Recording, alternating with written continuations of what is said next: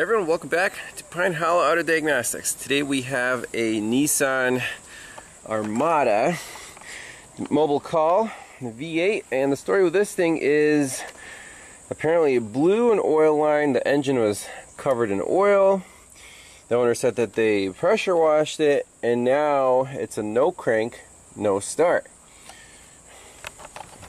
However, the starter solenoid seems to click. It acts, it's acting like a dead battery or a very low battery. So on the meter here we have 11.9 volts which is you know, a little low with the key on. So let's crank it.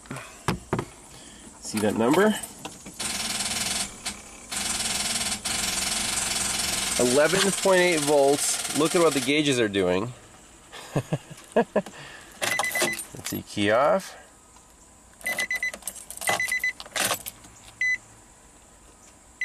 Back to normal.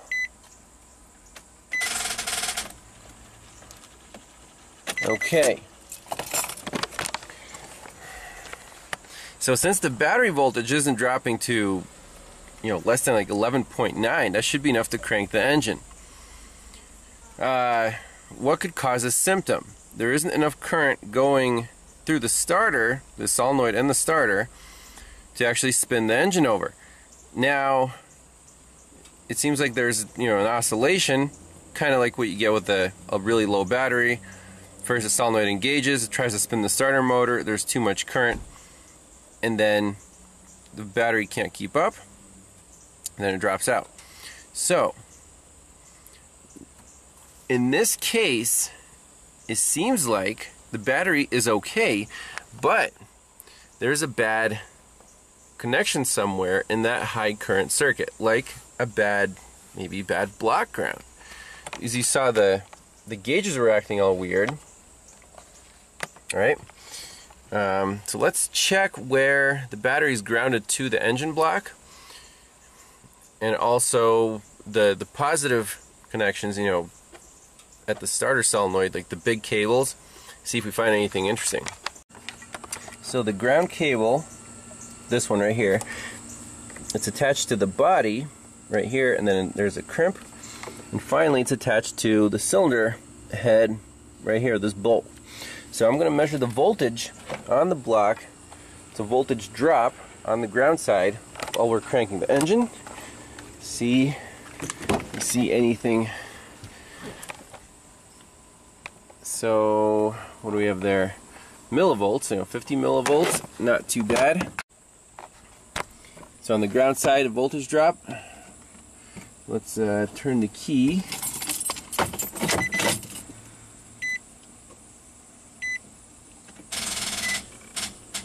Six point eight volts DC right there. I'm holding it in the crank position. That's our problem. Very cool. So what do we want to do here? Let's just loosen up this bolt. So right now there's a 6 volt difference between here and here. Now what we could do is also, for example, measure between here and here, do the same check, just to narrow down the location of this big voltage drop. Try again. And there's no voltage drop there. So that tells me that this connection at the battery is fine. Last thing we could check is intermediate right at this crimp.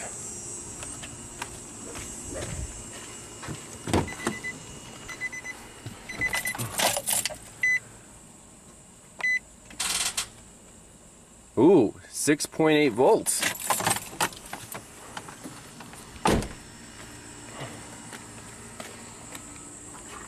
So the problem is actually in this crimp. So between here and the battery, there's a 6.8 volt drop. That's pretty nuts. How could that be? Wonder why this electrical tape is here.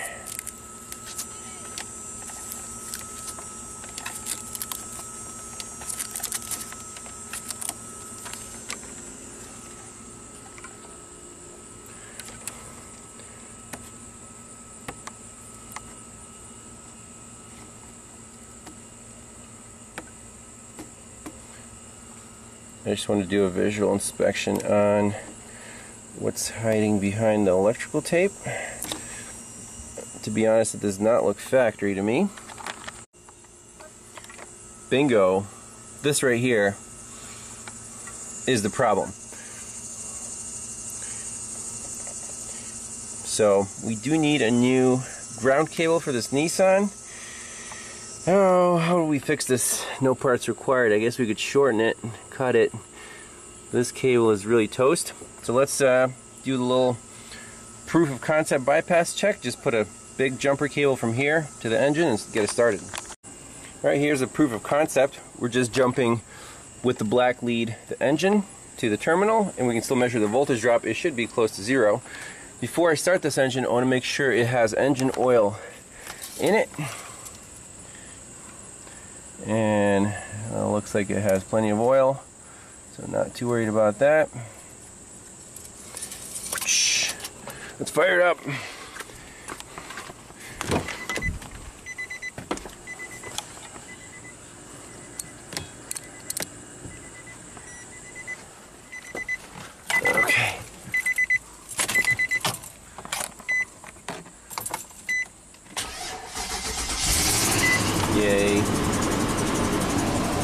still a little weird. I There we go.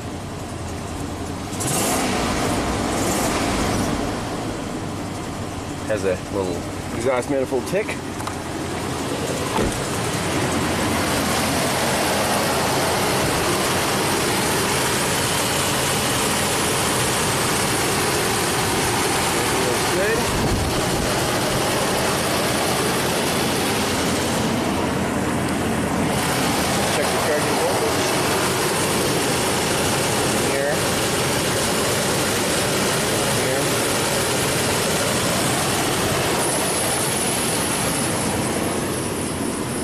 Two volts, great.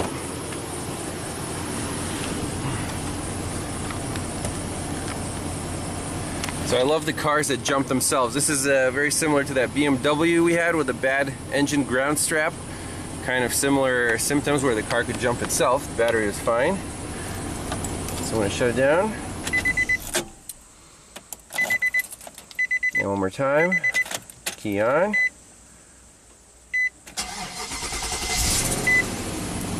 Now I'm wondering why the needles do that. It probably needs a better ground. Oop.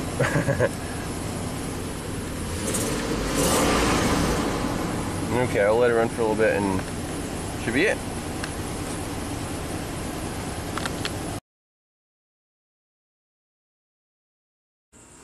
So I'm actually going to attempt to get this wire off of here and just clean it up and see if we can recrimp it and flow a little bit of solder over it because it doesn't look like the uh, connector is it's, it's just a bad crimp. You know if you put an aftermarket cable end on here it'll basically be the same thing. So we might as well fix this one. Just kind of spread these strands out and get all this green crusty stuff off of there. Spray some deoxit and then just you know recrimp it.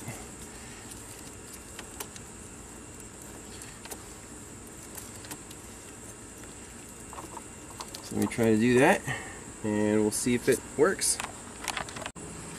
Okay, got a fresh can of deoxit. This is the good stuff.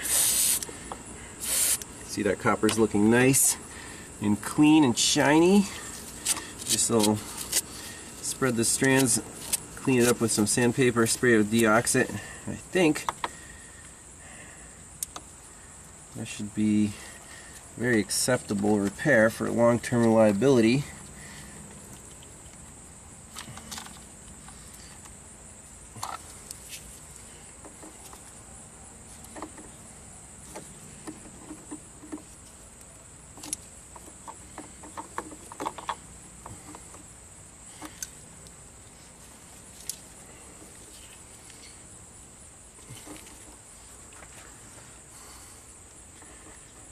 Stronger crimping tool here.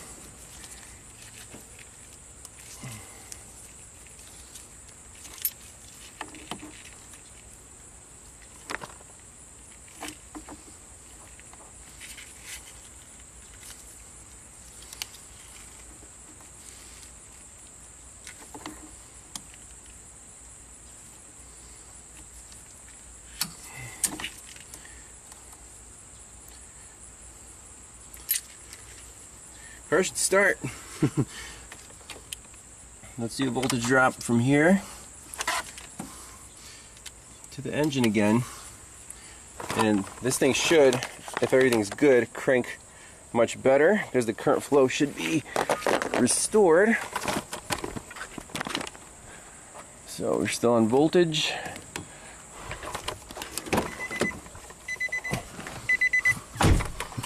See. Oh yeah, 100%. No more weird gauges. That cranked so nice.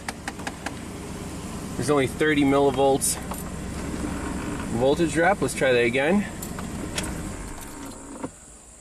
Remember that's millivolts.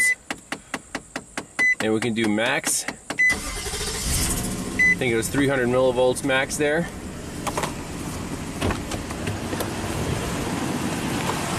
You want to use the max min feature, go like that and it'll just keep the maximum reading on the screen from when you press the button. So engine off, key on, crank it.